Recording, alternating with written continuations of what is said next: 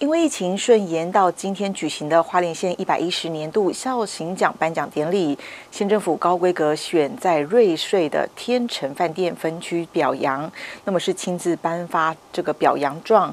那么县长徐祯卫是听取了中南区的孝行楷模事迹，并鼓励所有的人都要及时行孝，实践爱的能量。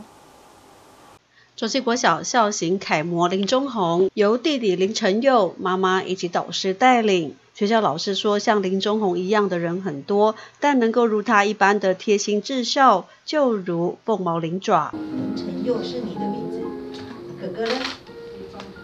林中。同样是在校生，玉里高中孝行楷模陈志威，腼腆害羞，即便家境清苦，但在校成绩表现样样都好，相当争气，双亲都以他为荣。但是最喜欢康乐鼓掌，哦，你是学艺鼓掌啊，哦。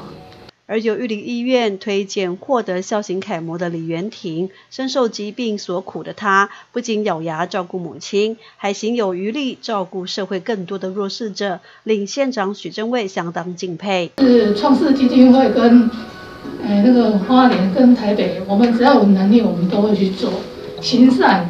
行善跟行孝都是不能等。而失去双脚的林荣富，除了镇公所及德武里长陈敏雄之外，母亲、姐妹、女儿全都到场分享林荣富的荣耀。真的是很感谢我哥哥牺牲他的，然后就是我二嫂的支持，以他为荣啊！然后做着我自己都没办法做到这种行为。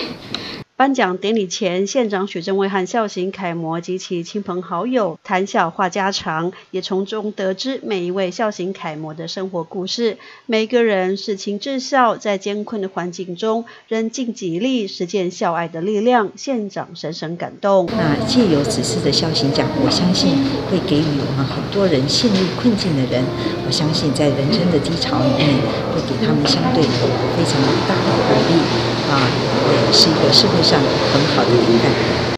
花莲县一百一十年度孝行楷模颁奖表扬典礼，因为疫情，从原本的五月份顺延至今天举办。县政府民政处也高规格以对，分南北两区办理。中南区则是选在瑞穗天成饭店进行颁奖表扬，场面温馨热闹。记者石玉兰，瑞穗采访报道。